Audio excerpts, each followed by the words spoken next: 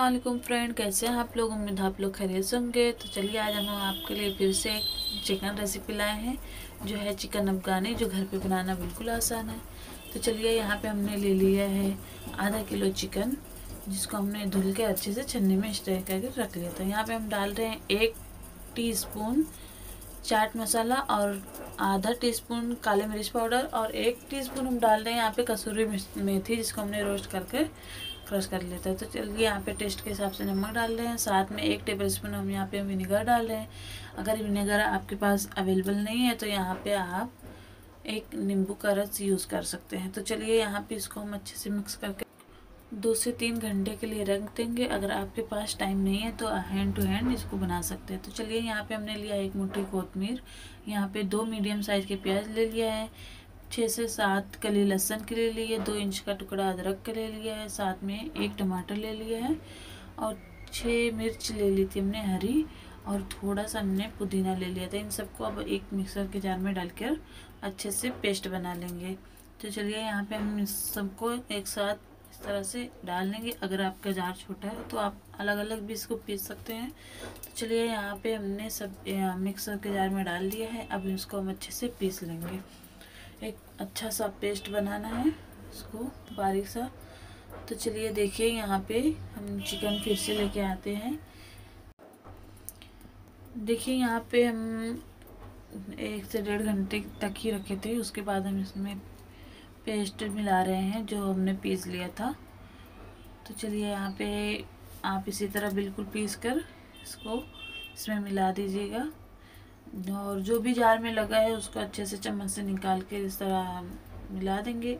Jar को हम धुलेंगे नहीं, उसी जार को हम फिर यूज़ करेंगे। तो चलिए, अब हम इसमें डाल लेंगे आधा कप दही। यानी कि दस ग्राम हमने लिया है। और साथ में हम दही के बराबर मलाई लेंगे।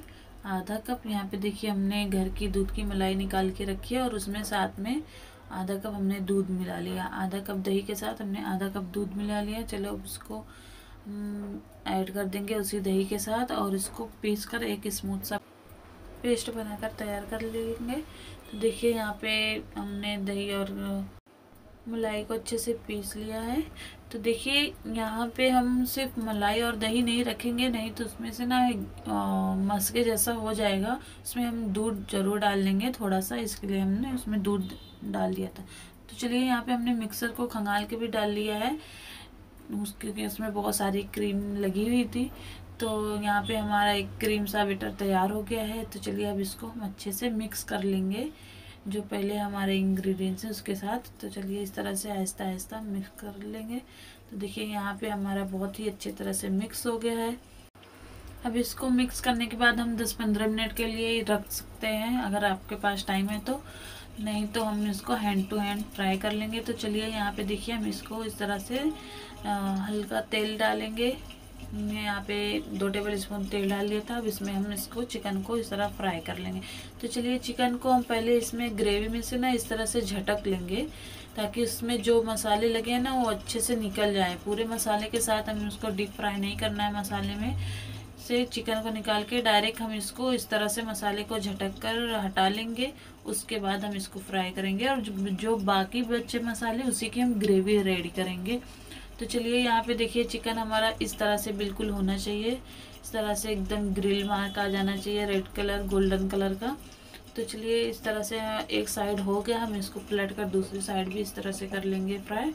तो देखिए इसको हम स्लो आँच पे नहीं करेंगे मीडियम पे करेंगे, ना एकदम हाई पे करेंगे, बस मीडियम पे इसको रखना है। छः से सात मिनट में ये अच्छी तरह से, इस तरह से फ्राई हो जाएगा। तो चलिए इसको हमने दूसरी तरफ़ पलट दिया है।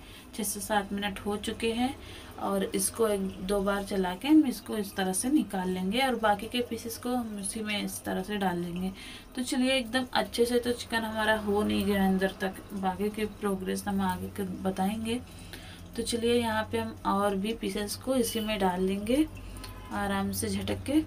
तो देखिए यहाँ पे अब हम एक और पेन ले लेंगे, उसमें डालेंगे दो टेबल स्पून तेल और साथ में हम उसमें डाल लेंगे तीन छोटी इलायची, तीन लौंग और थोड़ा सा दालचीनी का टुकड़ा और एक जावित्री का टुकड़ा। तो चलिए जो हमारे मसाले बच गए थे ना ग्रेवी चिकन के साथ जो हमने मिक्स करके रखे थे मेरीनेट करके रखे थे तो उसको हम इसमें डाल लेंगे।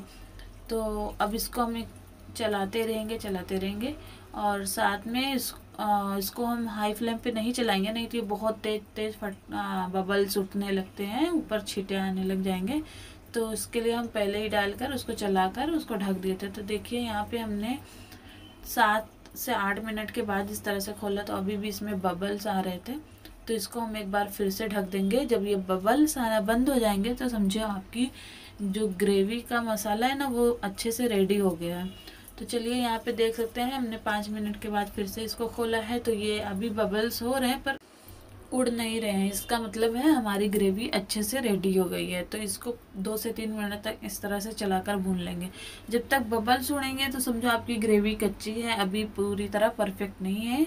तो चलिए यहाँ पे अच्छे से हम इसको दो से तीन मिनट तक मैं इस तरह भून लिए हैं। तो देखिए एकदम अच्छे से तेल छोड़ दिया है। तो अब इसमें हम डाल देंगे चिकन, जिसको हमने पहले फ्राई करके रख दिया था। अब इसको हम दो से तीन मिनट तक और अच्छे से मसाले में इस तरह से मिक्स कर लेंगे। ताकि ये मसाले को एग्जॉर्ब कर ले। उसके बाद हम इसमें डालेंगे जो तेल बच गया था हमारा। अगर हमारा तेल इसमें कम है तो उसमें और तरी डालनी है तो उसको हम इस तरह से पूरा कर सकते हैं। इससे आपकी ग्रेवी में तरी भी पूरी हो जाएगी और इसकी फ्राई की खुशबू भी बढ़ जाएगी। तो चलिए देखिए, यहाँ पे हम इसको मिक्स कर देंगे अच्छे से। उसके बाद अगर आपको इसी तरह थिकनेस में आपको खाना है ग्रेवी को तो आप इसमें हल्का सा पानी डालकर इसको पाँच से छः मिनट के लिए ढककर सिलो आँच में पका लें ताकि चिकन अच्छे से हो जाए। लेकिन हम इसमें थोड़ा सा और ग्रेवी बढ़ा रहे हैं तो इसलिए हमने एक कप के करीब पानी डाल दिया है और इसको अच्छे से मिक्स कर देंगे। और आप अपने हिसाब से भी ग्रेवी रख सकते हैं। बहुत ज़्यादा इसको पतली नहीं करना है, पर आप अपने हिसाब से रख सकते हैं। देखिए, यहाँ पे हम जितना रखें उस हिसाब से रख दें। तो यहाँ पे इसको हमने फिर से पानी डालकर आठ से नौ मिनट के लिए लो आँच में ढक दिया था। तो देखिए, यहाँ पे अच्छे से हमारी चिकन की ग्रेवी रेडी हो गई है और चिकन भी अच्छे से अंदर तक हो गया है। देखिए, यहाँ पे हम इसकी ग्रेवी की थिकनेस इतना ही रखे हैं। तो चलिए, इसको हम अच्छे से मिक्स करने के बाद गैस की फ्लेम को ऑफ़ कर देंगे और अब इसमें हम डालेंगे एक बर्तन। या आप ऑयल पेपर यूज़ कर सकते हैं। तो चलिए, इसमें हम डाल देंगे कोयला। जो हमने पहले से रख दिया था गर्म होने के लिए तो यहाँ पे हम इस पर डाल घी, तेल, बटर, आपके पास जो भी अवेलेबल है, उस पर डालकर इस तरह से इसको ढक देंगे हम छः से सात मिनट के लिए। इससे बहुत ही अच्छा स्मोकी फ्लेवर आ जाएगा। हमारे चिकन अफगानी में चिकन अफगानी में स्मोकी फ्लेवर लाना बहुत ज़रूरी है। तो चलिए यहाँ पे हमारे छः से सात मिनट हो चुके हैं। अब हम इसको रिमूव कर देंगे। और एक बार इसको हम फिर से चला लेंगे ताकि ऊपर से अं, अंदर तक अच्छे से स्मोकी फ्लेवर मिक्स हो जाए। तो देखिए यहाँ पे हमारा चिकन अफगानी बिल्कुल रेडी हो चुका है। आप इसको पराठे या नान से खाएँ बहुत ही टेस्टी बनकर रेडी होता है। अब इसमें थोड़ा कोतमीर छिड़क देंगे। अगर आपको फ्रेंड हमारा वीडियो पसंद आया तो वीडियो को लाइक करें शेयर करें कमेंट करें और सब्सक्राइब करना ना भूलें। हमारे मोटिवेशन के लिए प्लीज़ ज़रूर सब्सक्राइब करें। इससे हमें हौसला मिलता रहेगा और भी वीडियो बनाने का। Thank for watching my video